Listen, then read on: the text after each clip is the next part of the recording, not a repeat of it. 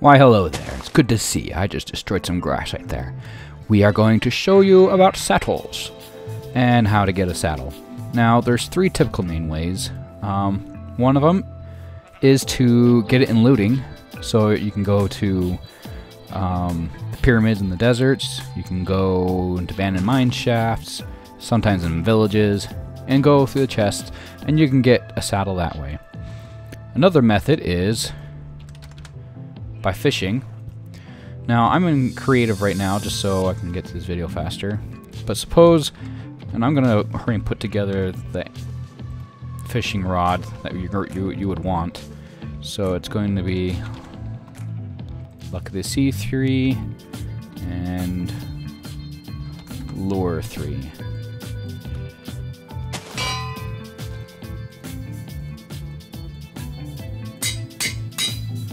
And you get this by enchanting on an enchantment table until you get up to Lucky C3 and Lure 3. And if you can get Mending, that would be good as well. So then you go and you fish, and it helps just get the saddle faster. You have a better chances of getting it.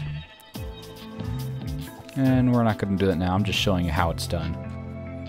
So, um, now I'm going to go show you the third method. And when you first start, the best method know, if you can find the places, you know, looting can be a good method. Otherwise, typically I get my saddles from fishing until I upgrade a villager to sell saddles, and I have a good enough economy going that trading with villagers is easy for me.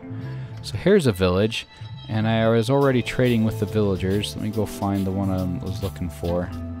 It's not you. It's one of you it's a leather worker, which is made by cauldrons. So, like, um, you go find a village and you place down some cauldrons so that they'll get some leather worker jobs. And no, it wasn't you. Okay, it's got to be you then. Aha, see?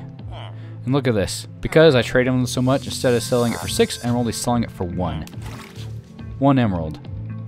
That's so easy. You, you just get tons and tons of saddles. And in reality, this is the best way to get saddles actually. There's three methods, but when you get to the, to the opportunity, the best way to get saddles is by trading with villagers. Because I mean, one saddle, I mean seriously, like 20 carrots, um, 32 sticks. If you have uh, Fletcher, they'll sell you an emerald 32 sticks. Just give them a bunch of sticks, get a bunch of emeralds. I mean, think about that. I could get like 10 emeralds easy. It's just like that. Boom, 10, 10 saddles. That's so much better, so fast yeah, you gotta trade for saddles. It's it's awesome. That's the best way to get a saddle.